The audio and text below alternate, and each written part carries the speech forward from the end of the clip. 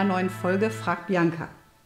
Heute reden wir über den Energieausweis und als Gast habe ich Ralf Jurisch, Rechtsanwalt für IT-Recht, eingeladen, damit er uns etwas über das Thema der Veröffentlichung und der Offenbarung eines Energieausweises erklären kann. Herr Jurisch. Herzlichen Dank für die Einladung, Frau Bommes-Hüsken. Nach der Energieeinsparverordnung aus dem Jahre 2014 ist es verbindlich, das heißt verpflichtend für die Verkäufer und Anbieter von Wohnraum, egal ob Verkauf oder Vermietung, einen Energieausweis vorzulegen.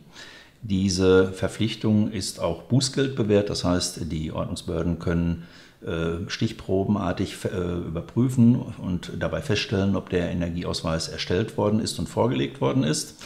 Bei einer Bewerbung der Immobilie im Internet zeigt es sich natürlich äh, sofort, ob mit einem Energieausweis, ob der mitgeteilt wird, angegeben wird oder ob ein solcher Hinweis fehlt. Das heißt, für die Behörden, die diese Ordnungswidrigkeiten verfolgen, ist es leichter, äh, schwarzen Schafen auf die Spur zu kommen. Im Übrigen ist der Energieausweis für den Mieter, aber auch für den Erwerber einer Immobilie natürlich aussagekräftig, weil er nicht nur eine Aussage über den mutmaßlichen äh, Energiebedarf des Hauses liefert, sondern auch eine gewisse Planungssicherheit ermöglicht äh, und Informationen bereitet zu der Frage, welche Renovierungs- oder Sanierungsarbeiten möglicherweise unternommen werden müssen oder welche Problemfelder bei dem Erwerb einer Immobilie gar nicht mehr betrachtet werden müssen, weil hier die Probleme zum Beispiel Heizungsanlage, ähm, Dachbereich ähm, geklärt sind. Herr Jurisch, mit welchen Kosten hat denn ein Eigentümer dabei zu rechnen? Mit welchem Bußgeld?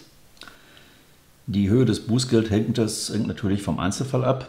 Ähm, gleichwohl können die empfindlich sein, denn es geht bis zu 15.000 Euro pro Einzelfall. Das heißt, äh, man muss die Art der Bewerbung oder der, dann unterlassenen äh, Hinweispflicht äh, berücksichtigen. Bei einer einfachen Zeitungsanzeige, da wird ein Hinweis auf einen Energieausweis, der vorliegt, genügen. Wenn ich ein Objekt äh, mit Bildern äh, und weiteren Detailangaben bewerbe, dann werde ich den Energieausweis mindestens in Kopie äh, angegeben haben, dass der Interessent schon konkrete Vorstellungen hat.